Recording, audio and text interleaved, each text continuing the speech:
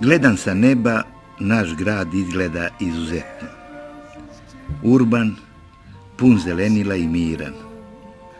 Čini se prelepo živeti u njemu. Ali moramo da siđemo na zemlju.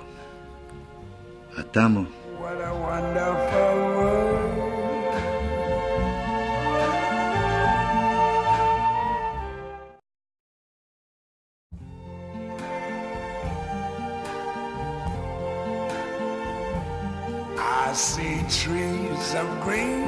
Od Božića neogrejani tračak sunca. Sivilo, ono najgore koje se dešava samo zimi, pritislo ulice i uvuklo se u duše ljudi.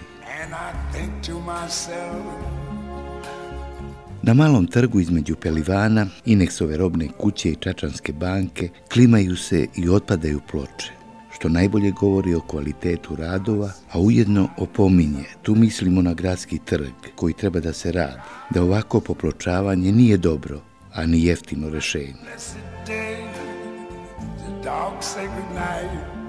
Utorak poče da pada ledena kiša. Okova tek očišćenje trotoare i automobile. Da li ste primetili da je u našem gradu sve više golubova, a sve manje vrabaca? Zato nas obradova ovo jato divdana koje odneku dolete i veselo uz ono dživ, dživ, dživ navali na ostatke peciva. Kao što vidite, završen je prvi gradski javni toalet. Još nije u funkciji, verovatno se formira odbor za svečano puštanje u rad. U parku ispred železničke stanice sve po starom. Divlji ljudi opet iščupali i izobarali betonske kante za smeće, a izvalili klub. Ove štetočine ne samo na ovom mestu, to rade godinama, a radit će i dalje, jer za Boga ne mogu da ih uhvate. Da hoće policija i inspekcija malo da se potrude. Najviše za sedam dana bilo bi bar dvadesetak prijava kod sudije za prekršaje. Ove dve šarmantne gospodje podeliše komplimente našoj emisiji i pitaju hoćete li da nas snimite? Naravno. Podzemno grejanje na prilazima železničkoj stanici očigledno funkcioniše. Na stazama ne samo da nema leda, nego su skoro suve. U Kuželjevoj ulici Rajko Petrović ne može da upali auto po onom lepom običaju koji se zove drug na drumu, stajemo da mu pomognemo. Pomoću kablova pokušavamo da strujom iz našeg auta oživimo Rajkov akumulator. Nije vredelo. Šta ćemo drugo nego mu pomažemo da se parkira, a Rajko ode da kupi novu bateriju. Na korzovu ružne slike. Na svakom stubu ulične rasvete, zalepljeni oglasi i posmrtne liste umrlice počeli da lepe i na fasade okolnih zgrada.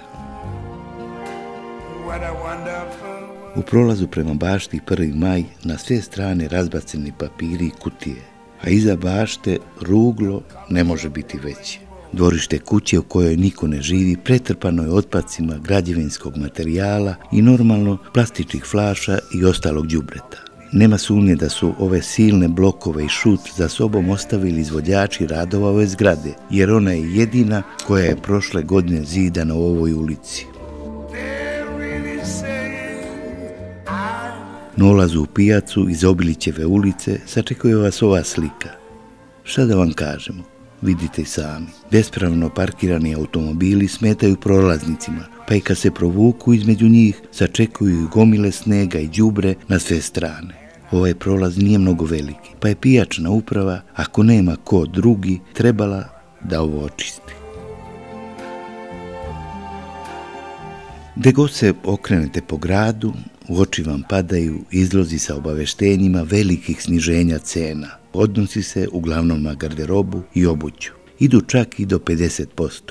Nemojte se zaletati. Dobri poznavaoci prilika kažu da je to šarena laža, i da se najveća pojeftinjenja kreću do 10%.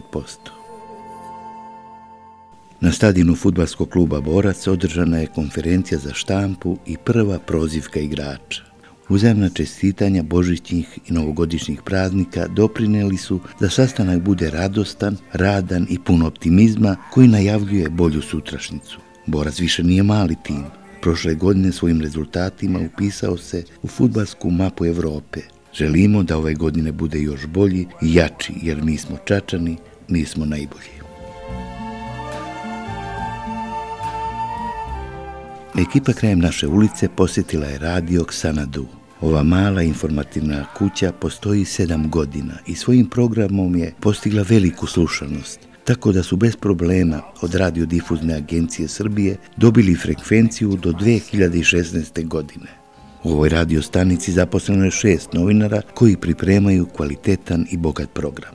Njihove emisije, a ima ih osam, su zaživele takvim intenzitetom da i danas traju. Svaka od njih obrađuje najaktuelnije teme koje se dešavaju u našem gradu i svetu, a to su poluvreme emisija o sportu, automedija prati automobilizam, emisija slike u pokretu posvećena je filmu, još jedan utorak, to je emisija iz kulture, otisak u tamije noći program, zeleno, volim te zeleno, priča o ekologiji, a šareno popodne emisija zabavnog karaktera. U redakciji zatičemo dežurnu novinarku Bojanu Lazović i vlasnika radija Dorana Jovanovića.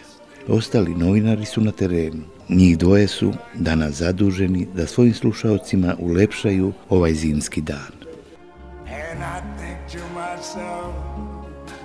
Ni ledena kiša nije sprečila preko 2000 uglavnom mladih čačana da pred domom kulture dočekaju srpsku novu godinu pevala je čuvena estradna umetnica Nataša Bekvalac. Udata je za Danila Dača i Kodinovića, državnog reprezentativca u Waterpolu, kome su roditelji iz Čačka.